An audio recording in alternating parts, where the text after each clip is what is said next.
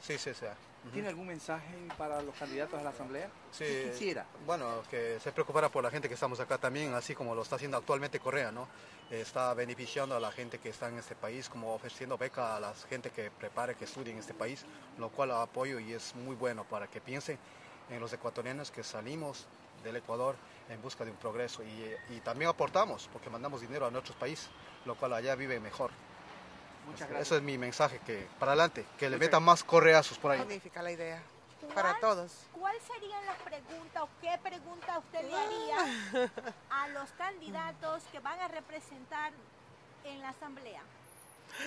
Ay, tantas cosas que necesitamos. Una, Ay, los niños.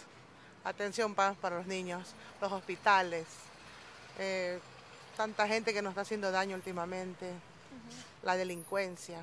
Más los niños que tomen asunto a ellos, que es más importante para llegar tranquilos a nuestro país. Que lo más lindo, Ecuador. exacto.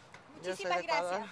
muchos ecuatorianos aquí y qué bueno que han hecho esto para que se reúnan y sepamos muchas cosas más de nuestro país, porque yo estoy muchos años aquí, no sé más que es lo que se que siga progresando más en nuestro país como está, porque algún momento tenemos que regresar todos a nuestra tierra que sea algo mejor para el porvenir de nuestros ecuatorianos que estamos aquí y allá, que sea lo mejor. Ah, no, no estaba seguro en dónde son los centros de votación o cosas así. Es, eso- esa, eh, tengo idea de que hay el centro en Brooklyn, algo así, pero no, realmente no. ¿Cuál sería la pregunta que usted eh, haría a los representantes a la asamblea? A la Asamblea Ecuatoriana, como qué nuevas reformas van a hacer ellos y cosas así.